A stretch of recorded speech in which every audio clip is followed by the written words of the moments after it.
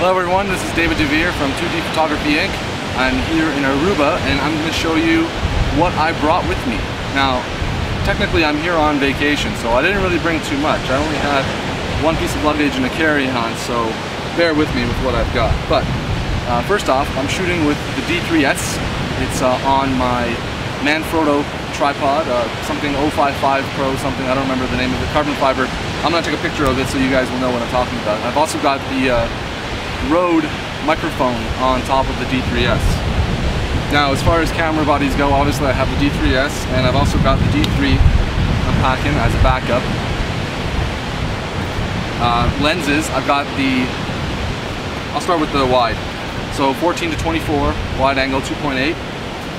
Next up is the lens I've got right on the camera right now shooting this video is the 24 to 70 2.8.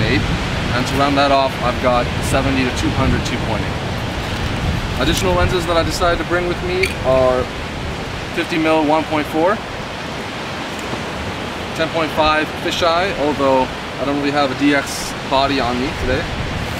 I got my 85 tilt shift 2.8 and my 70mm macro Sigma 2.8, the only Sigma lens I have. Uh, everything else is Nikon. In addition to that, I have a wonderful magic arm that I decided to bring with me. This is really, really handy and some of the shots that I've taken already uh, on, on the Jeep itself have been using the Magic Arm and some of the videos.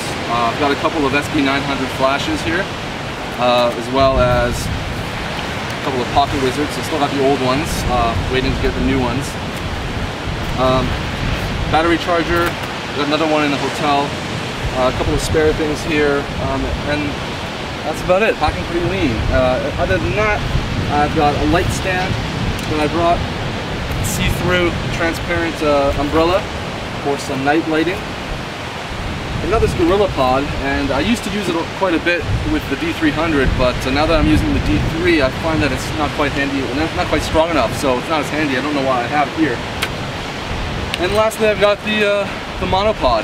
This comes in really handy when I'm sort of using this lens too much. Uh, not that strong, despite my size. And then of course to go through all of this, my workflow, I've got the Pelican case with the MacBook Pro inside. Um, this is, comes in really handy on the road. I've got the card reader built in there. A lot of you might recognize this setup. Uh, so I definitely stole it from somewhere.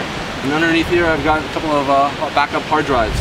One is the backup, one is the main, and that's what I write to. And that's all. So that's what I brought with me to Aruba.